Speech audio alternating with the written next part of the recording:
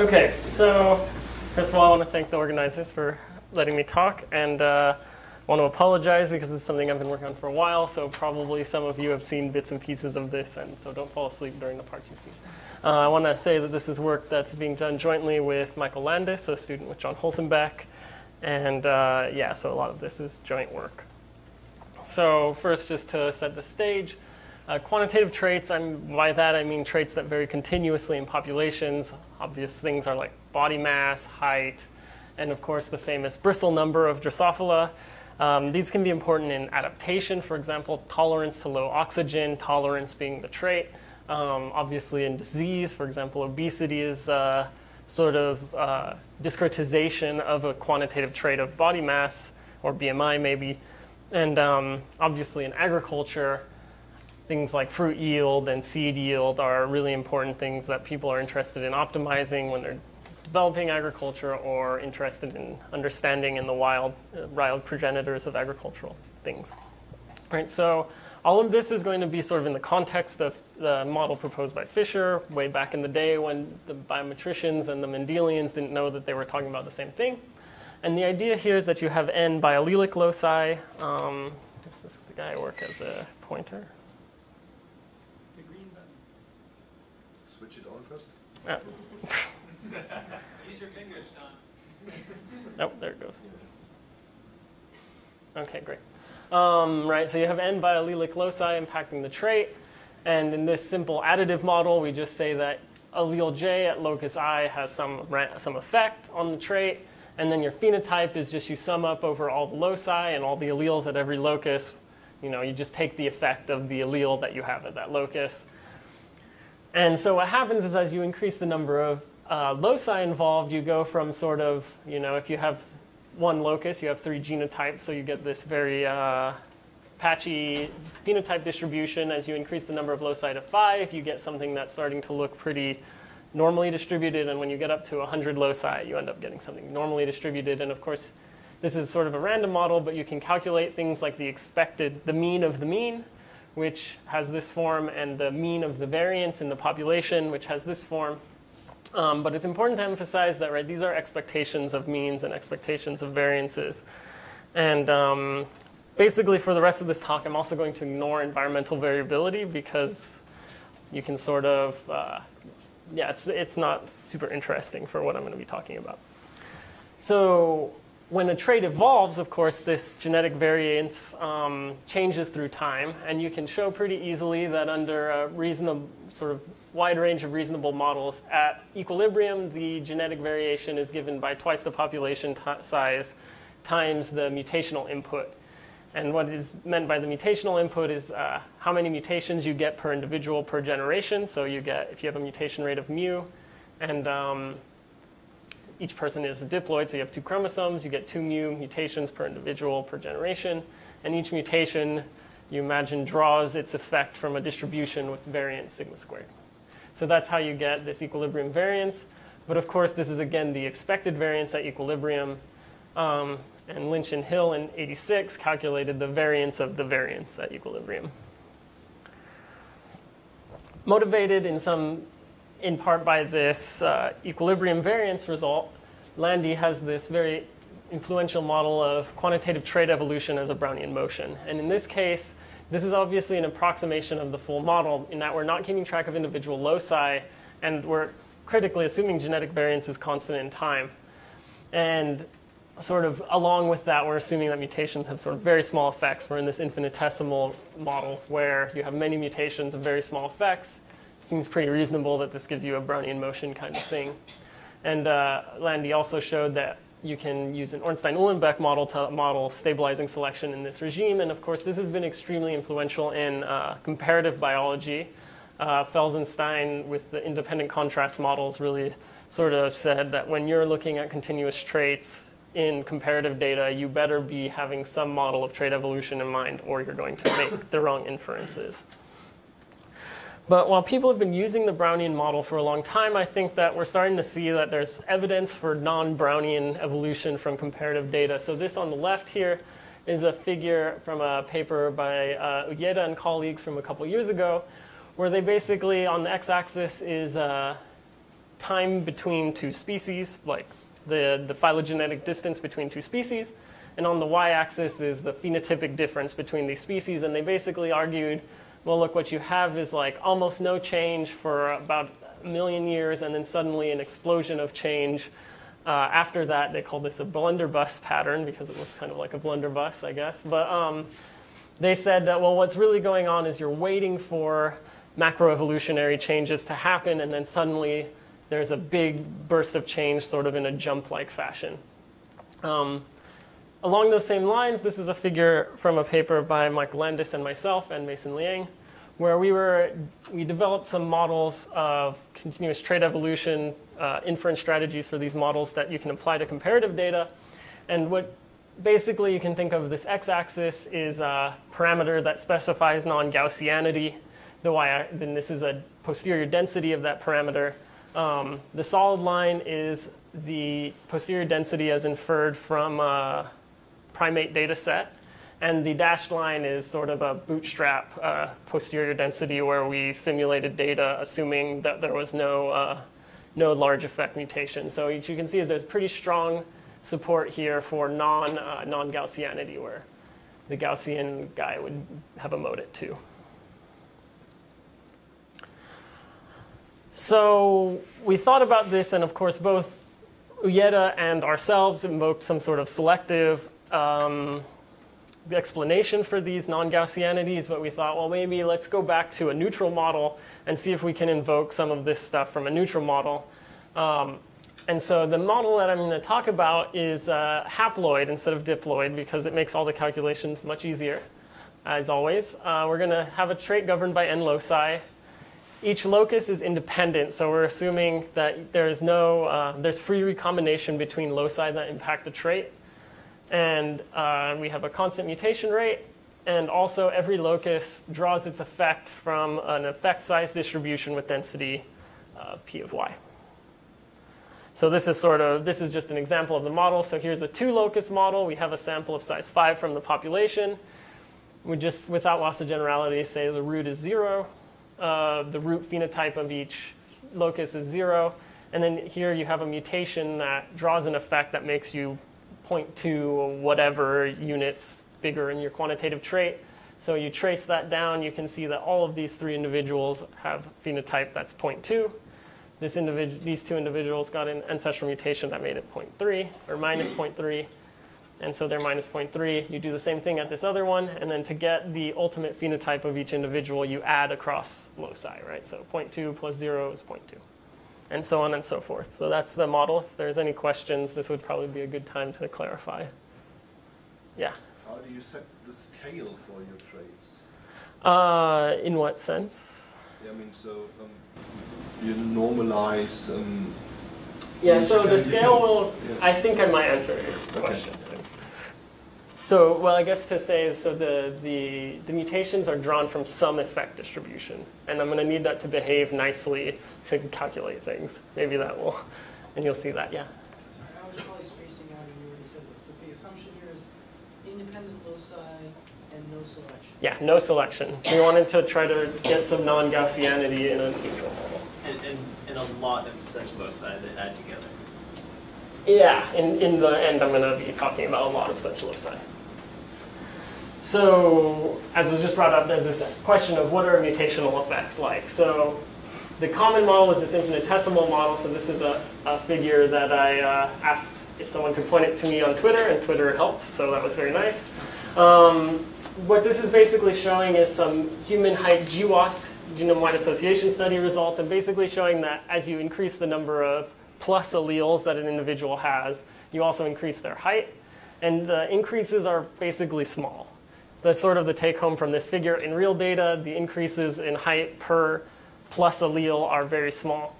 This is a figure from another paper where they tried to estimate the distribution of uh, effects from various GWAS hits. And basically, again, what you can see is that the vast majority of, of GWAS hits, or excuse me, not even GWAS hits, but this is sort of supposed to be the inferred distribution of effects across all causative loci, are very small. So, and quickly tail out. Um, so that's sort of the, the traditional model that you get. But there are some cases where you might expect there to be large effect mutations. So this is a figure from a paper out of Tricia Wittkopp's group, where what they did is they basically um, labeled a yeast protein with yellow fluorescent protein, um, made a shitload of mutations, and uh, asked how much does the expression level change. So the expression level of this gene, the amount of yellow fluorescence that it produced, was the phenotype. And for various classes of mutations, you can see that they actually got some very large effect mutations. For example, some that reduced normalized expression by a minus 38, whatever units these are.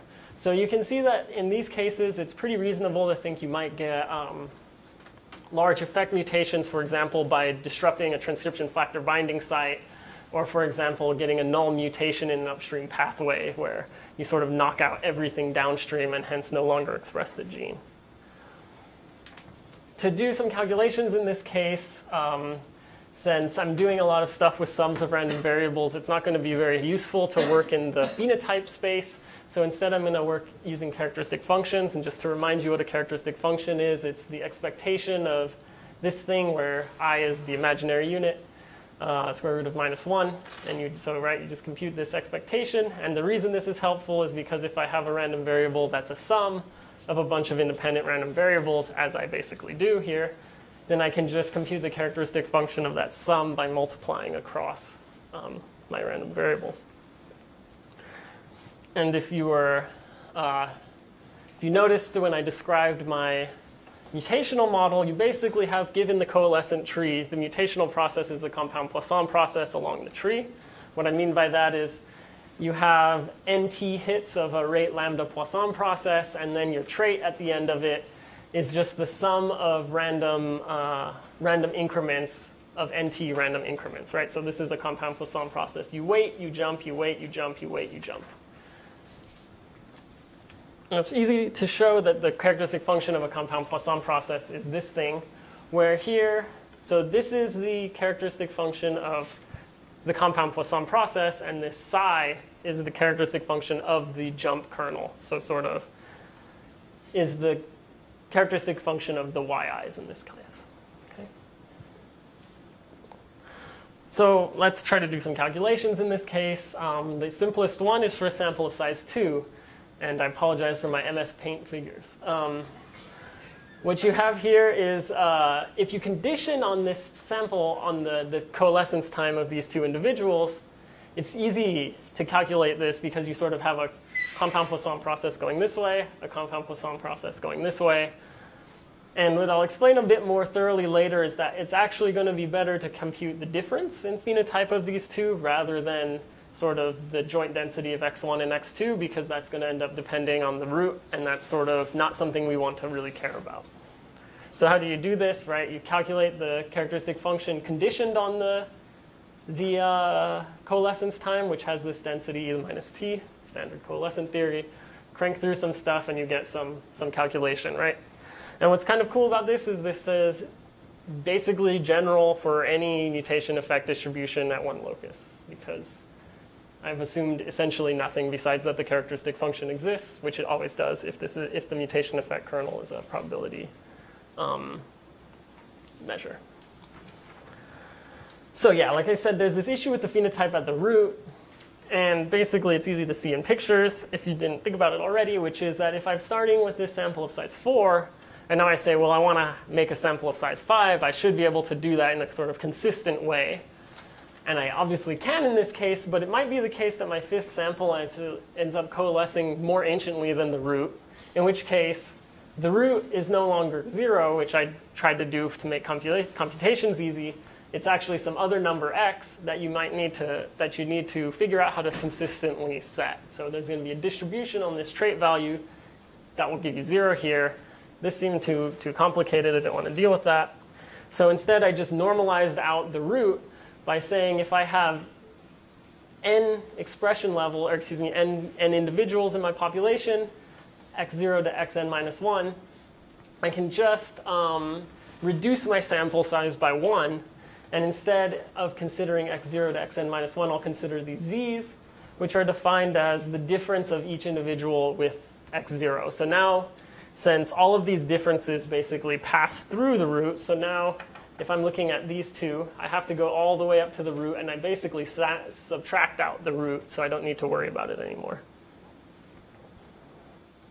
And using this approach with a little bit, uh, you can do the same characteristic function calculation. It becomes a lot more tedious for a sample of size 3. Uh, and you have something, and here I've assumed that the mutation kernel is symmetric. Um, and that's what I'm going to assume for the rest of this. So, okay, this sucks. Like doing these calculations sucks. I don't want to keep doing it. Can I do something, do something that makes this a little bit easier? So I'm going to take this limit of the number of loci getting large. And of course, you can do this in sort of dumb ways and get either uh, sort of a uniform distribution on R as your traits, which is obviously not what you want, or you can do it in some other ways and get sort of point masses, which is again not really interesting. And in order to do this, we need to decrease the effect size of each locus or the mutation rate at each locus in such a way that we get something non-trivial in the limit. And I'm going to tell you about three non-trivial limits, um, two of which are very similar, and one of which I will ignore. But uh, this one, this first one is when the mutation rate per locus decreases. Then the next two are when the effect size per locus decreases, so moving into the infinitesimal range. But the difference here being um, whether or not there are mutations of large effect. So if you take this decreasing mutation rate um, approach, where basically what you have is that the product of the number of loci and the mutation rate per locus stays constant, you end up getting, you can take this limit in the sample of size 3 and get what looks to me to be the sort of the, the characteristic function of, a of two correlated compound Poisson processes. Not totally sure how else to interpret that. Um, but I don't think I'm, but I'm not going to talk about this much more because I don't think this is really biologically relevant. I think really what we think is not that as you get more and more loci, you get more uh, mutations become rarer and rarer. So I'm going to ignore this one and instead focus more on the classical sort of infinitesimal model. So if you fail to have large effect mutations, if your uh, mutational kernel does not have fat tails or is not power law, then you get unsurprisingly a, a, Gaussian limit. So you take you you get this compound parameter that is the uh, product of the number of loci and the variance per locus. Your characteristic function for the sample size converges to this thing, which can be recognized as the bivariate Gaussian distribution with this variance covariance matrix. So uh, this seems nice. If you have instead fat tails, so your density has tails that look like this for alpha less than 2. This is the sort of standard power law. Uh, you know, this is what it means to, to have a power law. Uh, you redefine some parameters and you take your limit again. You get something here that is the characteristic function of a bivariate alpha stable distribution. Now, the problem is, unlike Gaussian distributions where there's sort of one thing that is a multivariate Gaussian distribution, so you always are just specified by a variance covariance matrix, there's sort of a lot of things that are multivariate stable distributions. Um, and this will come back to bite me in a little bit. So a nice thing here is that, as we know, the, the lineages from a coalescent are exchangeable.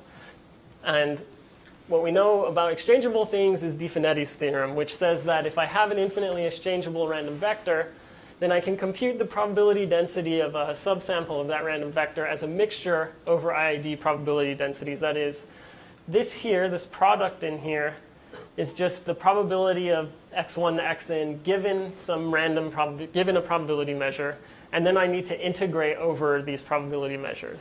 So that's what de Finetti's theorem tells us, and it says, well, since my coalescent limits are, my coalescent lineages are exchangeable, can I use de Finetti's theorem to do something interesting? And in the normal case, you, you can, and it's sort of a more general result that a, uh, about multivariate normal distributions with, symmet- with like very nicely behaved variance covariance matrices but basically, the guess is that the, given the mean value of the trait, the trait is distributed as a normal distribution with, sorry, that should be mean m, and variance theta over 2 sigma squared. And then the mean itself is random with variance, with uh, as a normal dist- uh, a normally distributed random variable with mean zero and the same variance.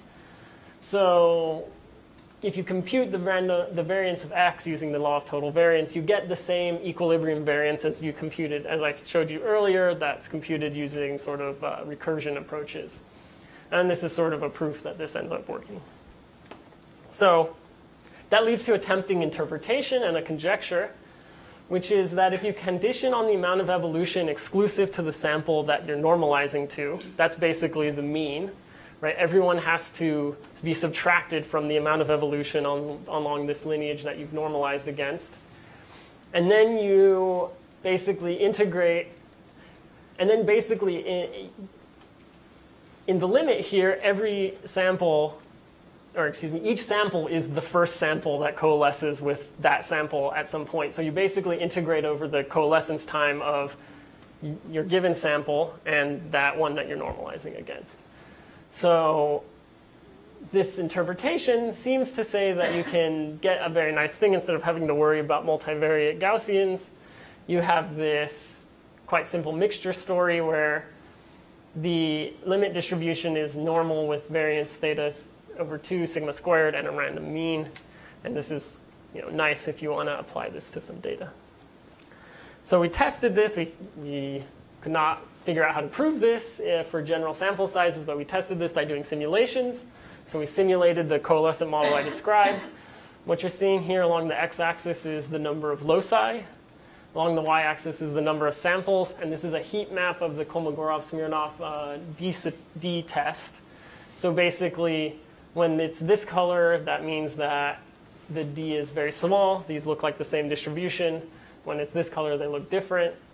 And you can see that as the number of loci increases, you actually do end up converging, sort of, you get, you converge to the limiting distribution, at least in simulations. So we thought, great, this worked for the normal case. Does this work in the case where you have power law mutations? And so we made basically, this is essentially the, the mirror conjecture in the power law case.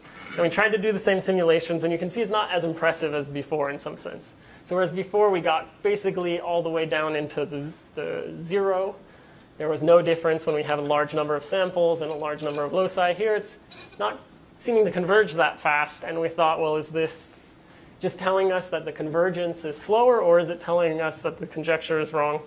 So we simulated, we, we, we had simulated data to do this, and we just looked at the simulated data. And what I'm showing here is something like 10 um, density estimates of the quantitative trait from the, the simulations.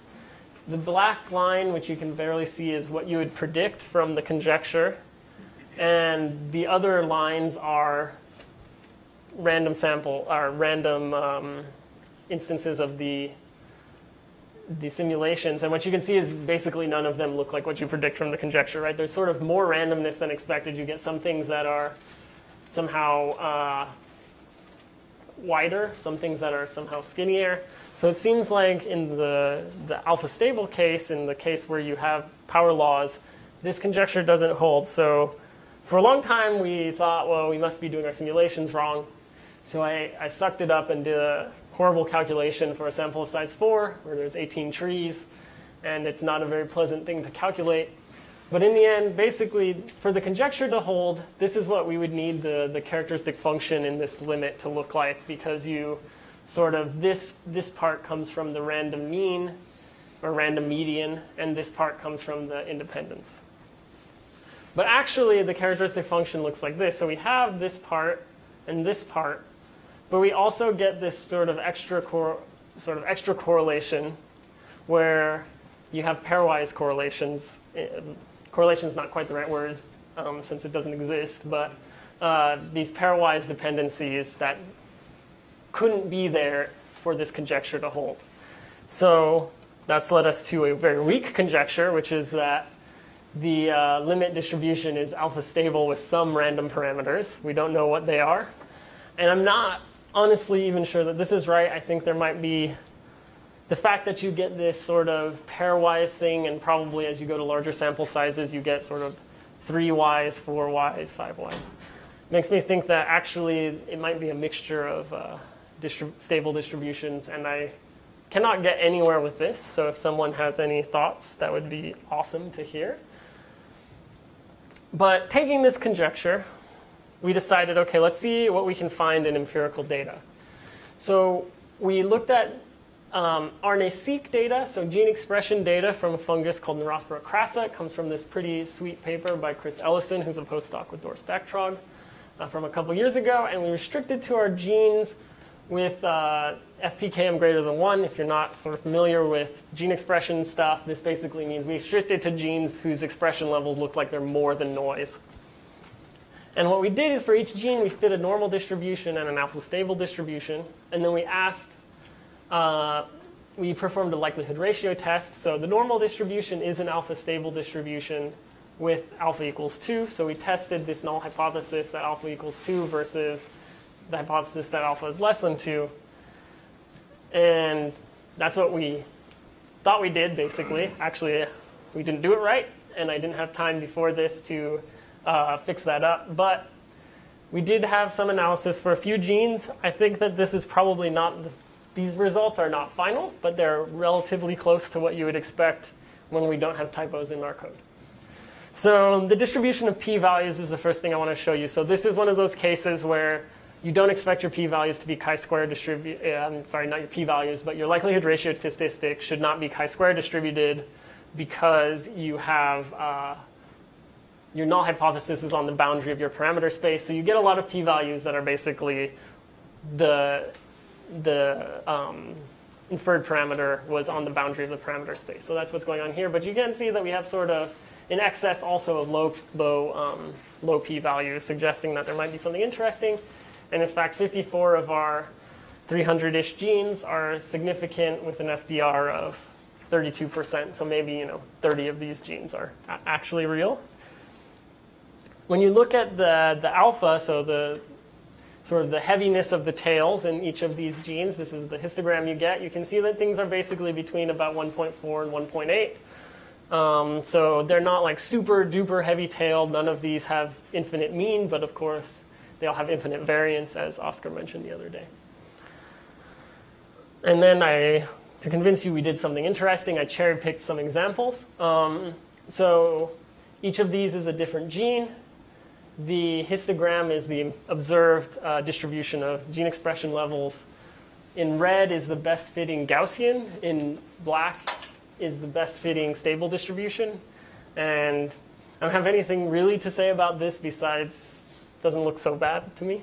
Um, and so that's really it. Uh, I think I sort of powered through that. So what we were able to do is introduce this coalescent model of quantitative trait evolution. This has this sort of same idea has been used um, a couple times in the past, but is actually somewhat rare, despite how it seems to be a pretty powerful way to compute things. And uh, it's you know tedious but straightforward to calculate these characteristic functions for arbitrary sample sizes. And to try to make it simpler on us, we found these limiting distributions as the number of loci became large. And we conjectured about how these limiting distributions extend to larger samples, making use of Di theorem. Um, simple things to include, what makes this model sort of powerful is it's very easy to include, say, samples that are non-contemporaneous by using the uh, serially sampled coalescent. It's easy, again, to include population structure. Doing all of these things does not really make your job any harder. Um, extending it to diploid seems kind of tedious, but again, straightforward because you just have to calculate for larger and larger trees. Every individual you add adds two more individuals or two more lineages in your coalescent. And so it's not super fun. But so the one of the criticisms that's often levied here is that basically no quantitative traits evolve neutrally. Um, but I think that there's a couple reasons to, for, to study this. I mean, obviously, it gives you some analytically tractable calculations, which is always fun. But I think it does give you intuition for what to expect with weak selection. For example, you don't expect, if you do have these um, power law mutation kernels, you expect to probably be able to see that with weak selection. And if there's something we can learn about that from this model, even when we're applying it to real data, for example, this gene expression data that's almost certainly under weak selection, uh, that might be a good thing. And of course, it's a null model. You need to, when you're saying that some quantitative trait has evolved under selection, it's usually a good idea to know what you mean by saying a quantitative trait hasn't evolved under selection. So, thanks.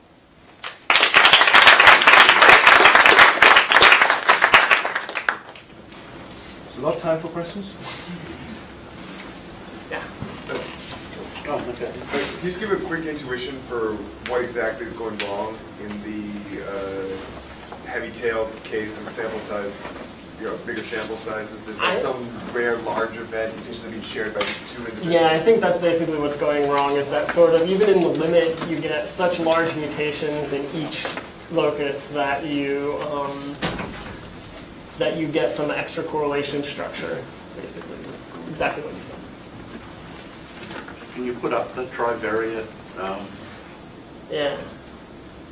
This guy. Right. So this guy is, it's a, it's a stable guy, right? Yeah. So, um, so this guy, have you sort of come across the stuff about Lepage representations? I don't think so. So basically, if you've got um, sort of any stable, um, you can write it as a, a, an infinite series of um, IID random variables with weights that are um, sort of, what is it, a gamma, gammas to the minus alpha, you know, gamma random variables to the minus alpha.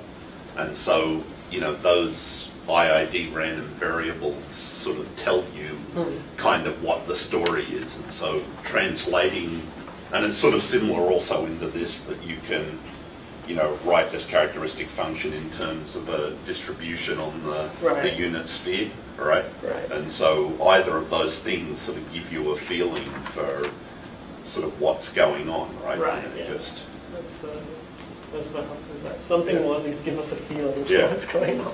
but you know, trying Yeah. those things to, to, to sort of see if you, Not to disagree with my coworker, but there's also a Poisson representation for these things that show you the stable law comes from mostly a few large values, right? And when the large values are shared between the lineage, right, well, that's what, the.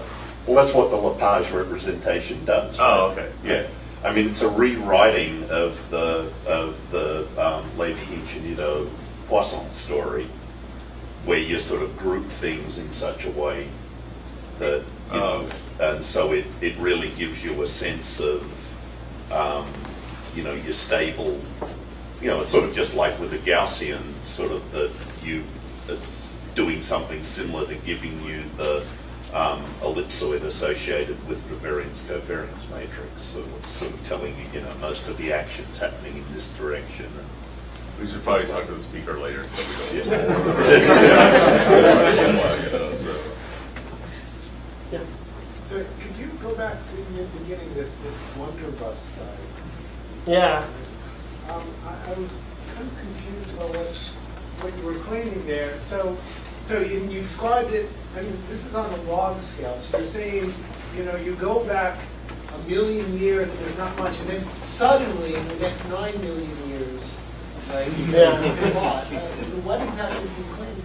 What they're claiming is basically, and I don't fully agree with their interpretation of it, but what they're claiming is that you basically wait, it's sort of a stasis followed by rapid evolution model. So like, No, I mean, what is, what are we actually looking at here? oh, what, uh, A trumpet.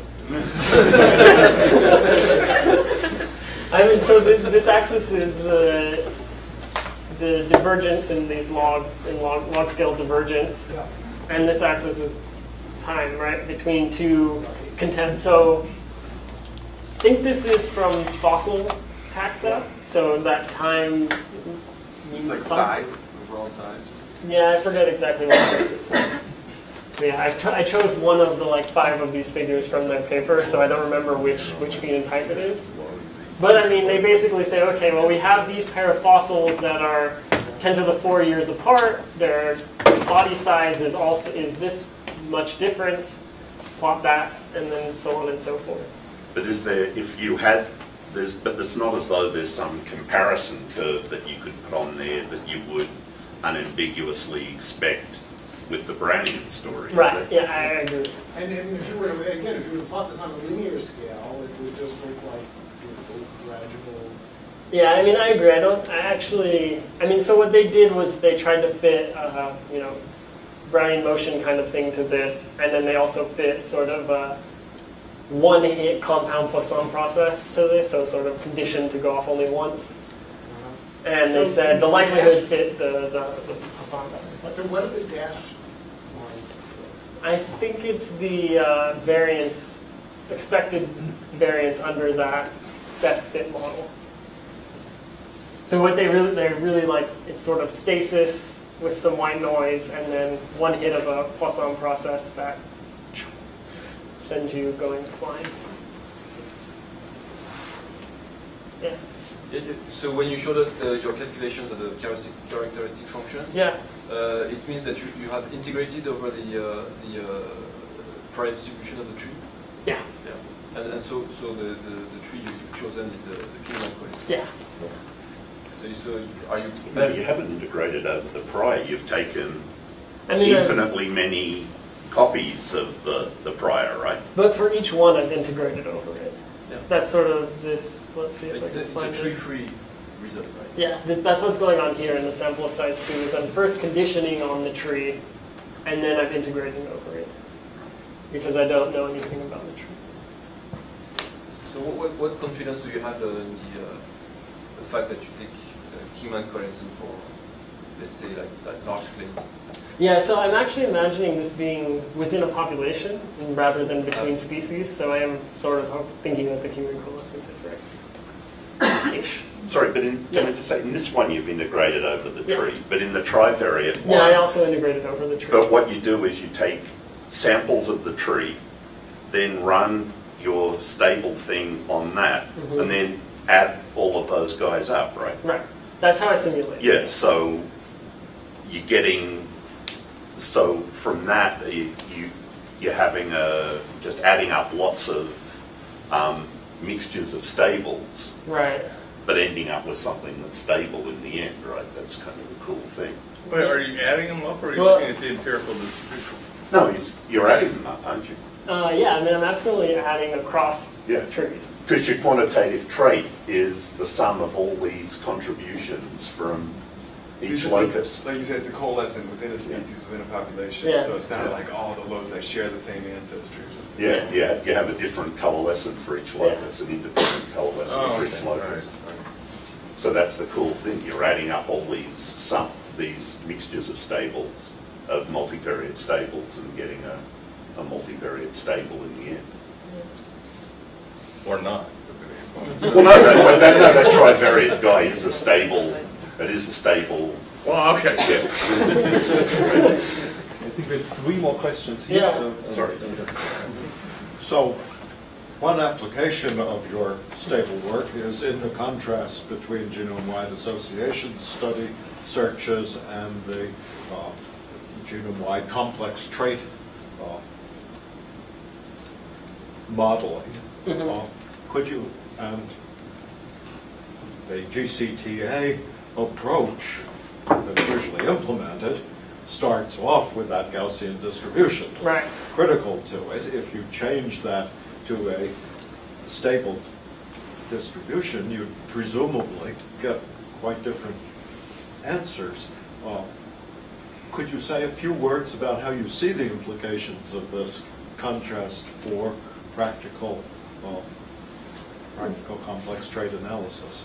Yeah, I've sort of thought about that peripherally, but I, I, I do think that the the data points to some things like height really being pretty Gaussian. Both the, distribution in populations is pretty Gaussian, and when you do GWAS, you do get these Gaussian things. I think the place, I really think um, gene expression is really one of the key places where you might see this kind of stable law because of things like uh, knocking out transcription factor binding sites, for example. And I think that you you'll still get a signal of that when people do like a GWAS for uh, EQTLs, expression QTLs, because you will pick up, for example, like you often pick up like that there's tons of cis, like very local regulatory variation that is very large effect compared to any of the, the transacting variation that you can find. And part of that is a power issue because you're doing much fewer tests when you're looking in cis. But I do think that that, I think we'll get hints of it if this is really going on in, say, human traits or in traits where we're really powered to do GWAS, we'll, we'll start to see hints of like, well, if I just plot the empirical distribution of effect sizes that I see, even though I've made, I've inferred this under a Gaussian assumption, I'll start to see that maybe there's too much large-tailed stuff that than I would have expected. Like, even though I'm doing sort of, you know, thinking about it in a sort of an empirical Bayes kind of way, you're going to see that your empirical Bayes assumption didn't really fit in the end. You made just two quick questions and answers, maybe, please. I had, uh, I think Graham had one, and- and over there, right there. Well, partly related to that, so one of the assumptions I understood is now is that weak selection is in relation to generation time. So you need to have strong selection in respect to generation time. For it. for something that, like yeast, uh, protein, we know that the generation time of the protein is partly longer than the, the division time of, of the yeast. Um, there I can easily see, but related to Ken's question in terms of the application of some other critters with quantitative traits, um, there I think I, I agree with you. It would be very intriguing to see if it really fits. When it comes down to GWAS or gene expression data, I'm always skeptical because like our our detection and our screening on small effects is so limited basically by the methods that we, we will lose a lot on it and it might easily look like that you don't find the small effects and it looks not at all Gaussian because of the methods and rather not because of the data and Right. stuff like that. And that was there was this figure I showed, uh, the inferred. This, whoops. Okay. Well, there we go. This thing, and what this paper was about was taking that inferred effect distribution, which is obviously going to be biased toward large effects, and back inferring what the small effects sort of things look like. So yeah, I mean, and, I do think that this is probably reasonable for things like human. So one thing about the uh, gene expression data is that most of the mutational input is in a particular place, which is the cis region, Right. which only potentially has a limited number of genealogies, perhaps one. Right. So presumably, does that complicate how I think about fitting these distributions? I think it does. Um, and yeah, I mean, I've, I've realized that too in sort of doing this, and I don't know what exactly it would do. So you could imagine that sort of the trans effects give you a Gaussian, they sort of fall into the Gaussian thing, and then you add this one additional genealogy that gives you a large effect thing. And so, in principle, it's easy to to do these calculations and see how much, you know, how much uh, having a whole bunch of large effect mutations matters versus just having really one place. And I don't have an intuition for how much that matters. Okay, yeah, let's think of speakers again.